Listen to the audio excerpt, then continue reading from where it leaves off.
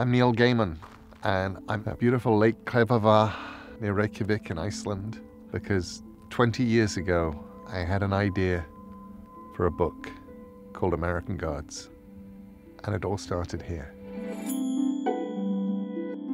As a writer, I feel like I have an obligation to travel because I want to be able to describe things well. I want to know how the world works.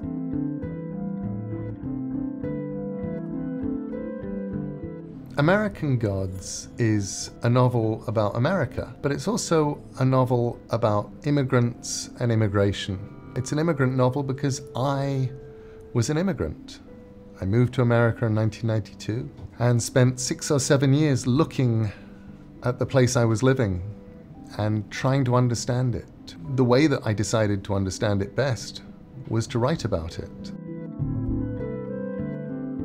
Back in 1998, I'd flown to Reykjavik. I wandered around the city. It was Sunday. Everything was closed. But I found a tourist center that was open and I wandered in and looked down and saw a tabletop diorama. This is the Icelandic Viking Museum. And inside this building is something that may have inspired the beginning of American Gods.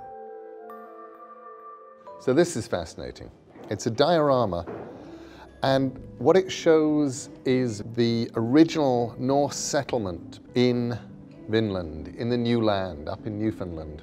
Looking at this 19 years ago and thinking, well, all of these people, the people who came across, I bet they brought their gods with them. And then I thought, but when they left, did they leave their gods behind? And suddenly, in my head, I had a novel. It was a whole book. And I even had a working title. I thought, I'll call it American Gods until I come up with something better. But I never did.